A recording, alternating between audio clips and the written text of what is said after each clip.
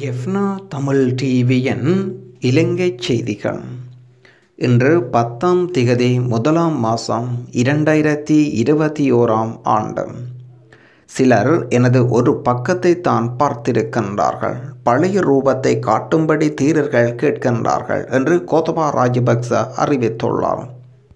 நினைவு தூவி தமிழ் சிங்கள மாணவர்களின் ஐக்கியத்திற்கு பாதிப்பு. பல்கலைக்கழக மானிய ஆணைக்குழு.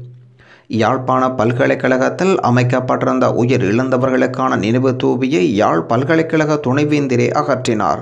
ஏனெனில் இது நாட்டின் வடக்கு மற்றும் தெற்கின் ஒற்றுமைக்கு தடையாக இருக்கும் என்று தெரிவித்துள்ளார். இலங்கை பல்கலைக்கழகங்களின் மானிய ஆணைக்குழுவின் தலைவர் பேராசிரியர் சம்பத் அமர்துங்க அறிவித்துள்ளார். சட்டவிரோதமாக அமைக்கப்பட்ட அமைப்பு அது காலத்துக்கு காலம் அதில் மாற்றம் செய்யப்பட்டதாக அறிந்தோம். அது வடக்கு தெற்கு ஐக்கியத்திற்கு தடையாக இருக்கும். கடந்த கால கசப்பான அனுபவங்களை மாணவர்களுக்கு நாம் நினைவூட்ட விரும்பவில்லை. கடந்த இருபத்தி நான்கு மணி நேரத்தில் நான்கு பேர் வைரஸ் தொற்றினால் மரணித்துள்ளனர். இலங்கையில் வைரஸ் தொற்று தொடர்பாக மேலும் நான்கு மரணங்கள் பதிவாகி இருப்பதாக சுகாதார சேவைகள் பணிப்பாளர் நாயகம் அறிவித்துள்ளார். இதன் மூலம் வைரஸ் தொற்றினால் மரணித்தவர்களின் மொத்த எண்ணிக்கை இருநூற்றி இருபத்தி ஒன்பதாக உயர்வடைந்திருக்கின்றது. தவறு செய்தவர்களை தண்டிப்பது சட்டத்தின் கடமையாகும். அதில் தலையிட்டு முந்தைய அரசாங்கம் செய்வதைப் போல் அரசியல் பழிவாங்கல் செய்ய நான் தயார் இல்லை. மக்களை தவறாக வழிநடத்தாமல் நியாயமான அரசியல் ஈடுபடுமாறு எதிர்கட்சியிடம் கேட்டுக்கொள்கின்றேன் என்று கோத்தபா ராஜபக்ச அறிவித்துள்ளார். இலங்கை இஸ்லாமியர்களின் உடல்கள் எரிப்பதற்கு எதிராக சர்வதேச சட்டத்திறனிகள் சம்மேளனம் கண்டனம். இலங்கை வைரஸினால் இறந்த முஸ்லிம்களின் பாரம்பரிய இஸ்லாமிய இறுதிச் சடங்குகள் மீறும் கட்டாய தகனங்கள் சர்வதேச சட்டத்திறனிகள் சம்மேளனம் என்ற மனிதநேய உரிமைகள் நிறுவனம் கண்டித்துள்ளது. இஸ்லாத்தில் தகனம் ஒரு பாவமாகவும் மனித ஈச்சங்கள் இழிவுபடுத்துவதாகவும் பார்க்கப்படுகின்றது. உலக சுகாதார அமைப்பின் குறிப்பிட்ட வழிகாட்டுதல் உயிர் இளந்தோரன் உடல்களை அடக்கம் செய்ய அனுமதிக்கப்படுகின்றது. எனினும் இலங்கை அரசாங்கம் வைரஸினால் இறந்தவர்களை தகனம் செய்ய வேண்டும் என்று வலியுறுத்தி வருகின்றது. உலக சுகாதார அமைப்பின் வழிகாட்டுதலின்படி வைரஸினால் உயிர் இழப்போரை அடக்கம் செய்வது எந்த ஒரு பொது சுகாதார அபாயத்தையும் காட்டவில்லை. மருதமுனை பிரதேச மக்கள் தங்களை தாங்களே சுயதன்மைப்படுத்தி கொண்டனர். மருதமுனையில் வைரஸ் கட்டுப்பாட்டு செயலணியின் இன்றைய வேண்டுகோளுக்கிணங்க மருதமுனை முதல் பெரிய நீலாவணை வரை தங்களை சுயதனிமைப்படுத்தி கொண்டதாக காணக்கூடியதாக உள்ளது. இந்த பிரதேசத்தில் உள்ள சகல வர்த்தக நிலையங்கள் மூடும்படி வீதி போக்குவரத்து மட்டுப்படுத்தப்பட்ட நிலையில் காணப்படுவதையும் அவதானிக்க முடிகின்றது. வவுனியாவிலிருந்து தப்பிச் சென்றுள்ள வைரஸ் தொற்றாளர்கள். வவுனியாவில் புதிதாக அடையாளம் காணப்பட்ட ஐம்பத்தி ஐந்து வைரஸ் தொற்றாளர்களில் ஒருவர் காணாமல் போயுள்ளதாக வவுனியா மாவட்ட சுகாதார பிரிவு அறிவித்துள்ளது. அடுத்த சந்ததிக்கு திரிவுபடுத்தப்பட்ட வரலாற்றை கற்பிக்க அரசாங்கம் முயற்சி சரவணபவன் தமிழ் இனத்தின் அடையாளங்களை சிதைக்கும் நடவடிக்கைகளின் ஊடாக அடுத்த சந்ததியினருக்கும் தெரிவுபடுத்தப்பட்ட வரலாற்று ஒன்றினை கற்பிக்க இந்த அரசாங்கம் முயல்வதாக மட்டக்களப்பு மாநகர சபையின் முதல்வர் தியாகராஜா சரவணபவன் அறிவித்துள்ளார். அத்துடன் முள்ளியவாய்க்கால் நினைவுகூரல் தூவி அளிக்கப்பட்டமையானது ஓர் அடாவடித்தனமான செயல் என்றும் கண்டனம் வெளியிட்டுள்ளார். தமிழ் முஸ்லிம்கள் மத்தியில் தீவிரவாதத்தை உருவாக்க அரசாங்கம் அர்ப்பணிப்புடன் செயலாற்றுகின்றது. தமிழ் முஸ்லிம் சமூகத்தின் மத்தியில் மீண்டும் ஒரு புதிய தீவிரவாத சந்ததியை உருவாக்குவதற்கு அரசாங்கம் அர்ப்பணிப்புடன் செயலாற்றுகின்றது என்று முன்னாள் நிதியமைச்சர் மங்கள சமரவீர கடுமையாக குற்றம் சுமத்துகின்றார். பல்கலைக்கழக வளாகத்தில் அமைக்கப்பட்டிருந்த முள்ளியவாய்க்கால் பேரலுவத்தின் நினைவு தூவி அரசாங்கத்தின் உத்தரவின் பேரில் பல்கலைக்கழக நிர்வாகத்தினால் இரவோடு இரவாக இடித்து அளிக்கப்பட்டது அதனை கண்டித்து யாழ் பல்கலைக்கழக மாணவர் ஒன்றியத்தினாலும் சமூக ஆர்வலர்கள் அரசியல்வாதிகள் மற்றும் பொதுமக்களால் கண்டன போராட்டம் முன்னெடுக்கப்பட்டு வருகின்றது. இது குறித்து தனது ட்விட்டர் பக்கத்தில் பதிவொன்றை செய்திருக்கின்றார் முன்னாள் நிதியமைச்சர் மங்கள சமரவீர. பாடசாலைகள் எதிர்வரும் பதினோராம் திகதி முதல் மீண்டும் ஆரம்பிக்கப்படுவது தொடர்பில் மீள் பரிசீலனை செய்ய வேண்டும் என்று இலங்கை ஆசிரியர் சங்கம் கோரிக்கை விடுத்துள்ளது. இலங்கையில் வைரஸ் தொற்றாளர்களின் எண்ணிக்கை நாற்பத்தி ஏழாயிரத்தை தாண்டியது. இலங்கையில் வைரஸினால் பாதிப்படைந்த நபர்களின் மொத்த எண்ணிக்கை நாற்பத்தி ஏழாயிரத்தி முன்னூற்றி ஐந்து நபர்கள் ஆகும். மன்னர்கள் கூட இந்த அளவுக்கு அநீதிகள் இழைக்கவில்லை. முஜிபீர் ரஹ்மான்.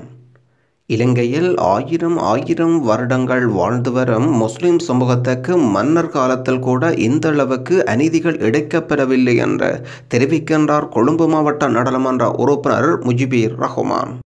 தேசத்தின் பொருளாதாரத்தில் மாத்திரமன்றி அரசியலிலும் முன்னோர்கள் பாரிய பங்களித்திருந்த பூர்வீகத்தை கொண்ட முஸ்லிம் சமூகத்தை இந்தளவுக்கு நோகடிக்கும் செயற்பாடு மிக மோசமான ஒடுக்குமுறை என்று தெரிவிக்கின்றார் முஜிபீர் ரஹ்மான். நாடாளுமன்ற உறுப்பினர் ரஃப் ஹக்கீமுக்கு வைரஸ் தொற்று. ஸ்ரீலங்கா முஸ்லிம் காங்கிரசின் தலைவரும் ரஃப் ஹக்கீம் வைரஸ் தொற்று உறுதியாகியிருக்கின்றது இதை அவரது ட்விட்டர் பதிவில் அறிவித்திருக்கின்றார். வைரஸ் தொடர்பான வேக்சின் கொள்வனவு செய்ய ஆறாயிரத்தி இருநூற்றி ஐம்பது மில்லியன் ரூபாய் நிதியுதவி வழங்கும் ஃப்ரட்டிக்ஸ் தலைவர் அஸ்டப் உமர். இந்த நிதியை ஃப்ரடெக்ஸ் நிறுவனத்தின் தலைவர் அஸ்டப் உமர் உட்பட சில வர்த்தகர்கள் இணைந்து வழங்க உள்ளதாகவும் இதனை அஸ்டப் உமர் முன்னின்று ஏற்பாடு செய்துள்ளார். அரசு வைரஸ் வேக்சினை கொள்வனவு செய்ய எப்போது நிதி தேவை அறிவித்தால் இதனை எந்த நேரத்திலும் வழங்க தயார் என்று அஸ்டப் உமர் அரவு அறிவித்துள்ளதாக அரச உயர்மட்ட தகவல் தெரிவிக்கின்றன.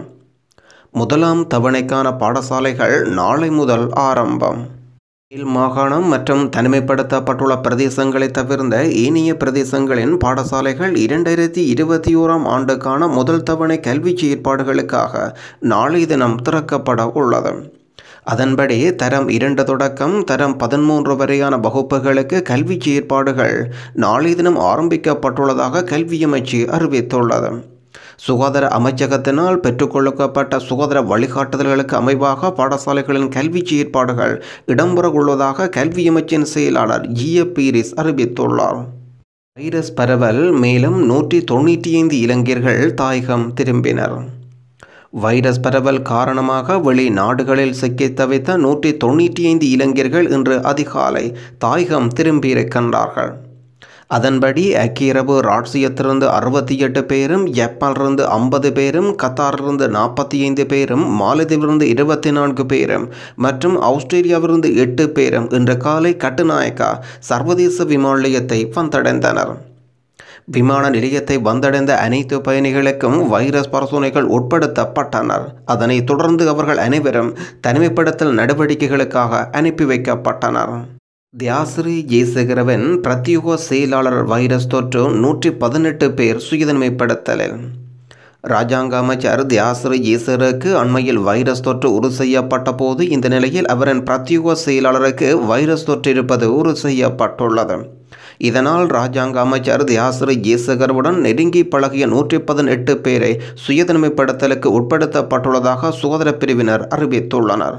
இதேவேளை அமைச்சரின் குடும்ப அங்கத்தவர்கள் மற்றும் பாதுகாப்பு அதிகாரிகளும் தனிமைப்படுத்தப்பட்டுள்ளமை குறிப்பிடத்தக்கது. நிவா விவகாரத்தில் சரியான திசை நோக்கி நாம் நகர்வதாக நம்புகின்றோம் சுரேஷ் பிரேமச்சந்திரன்.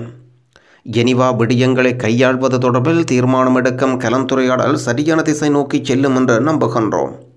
கிளிநொச்சியில் இடம்பெற்ற ஊடக சந்திப்பில் தமிழ் தேசிய பரப்பில் இருக்கக்கூடிய காட்சிகளும் சிவில் சமூக அமைப்புகளும் மதப்பிரியவர்கள் உள்ளடக்கிய ஒரு கருத்து பரிமாற்ற கூட்டத்தில் இடம்பெற்றது.